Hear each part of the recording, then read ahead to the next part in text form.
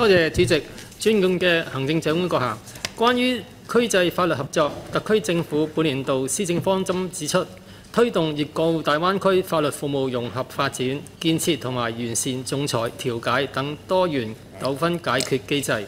事實上，特區政府響過去藉粵港澳大灣區法律部門聯席會議機制，成功推動設立大灣區調解平台，並加強協調粵港澳三地仲裁機構嘅合作交流。此外，行政法務司亦同國家司法部簽署咗司法部與澳門特別行政區政府行政法務司就進一步深化人才培養與法律服務合作嘅會談紀要，加快推動兩地法律服務規則軟聯通，成果豐碩。此外，政府亦都指出，按照橫琴粵澳深度合作區建設總體方案要求，積極探索兩地規則銜接同埋機制對接。推進深合區嘅法制建設，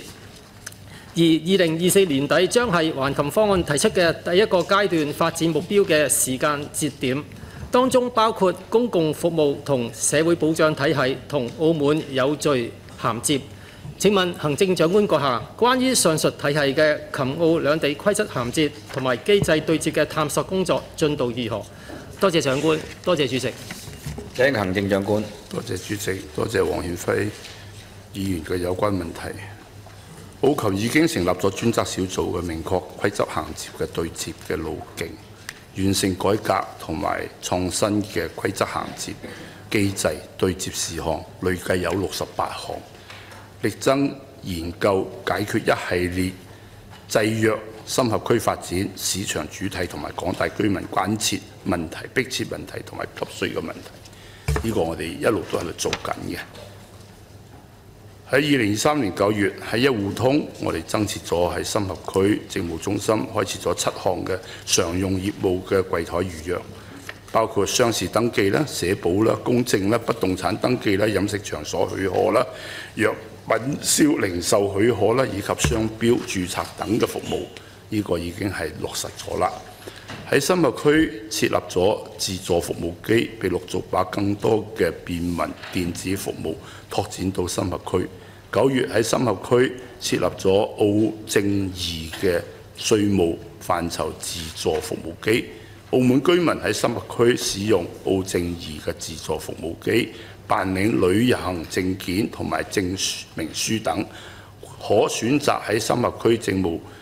服務中心嘅澳門辦事處專窗，或者喺澳門身份證明局辦理辦事處都可以取得有關嘅證件嘅。所以喺呢方面嚟講呢，我哋逐步喺度加強緊我哋有關嘅銜接嘅工作。當然仲有好多係未落地嘅啊，但係唔係話即刻可以全部工作都可以開展晒。但係我哋會爭取可行嘅，我哋先行啊，再。其他嘅，我哋喺度爭取啊！如果係大政策落地嘅，我哋必然會有配套嘅，我哋嘅澳門銜接嘅政策去落地。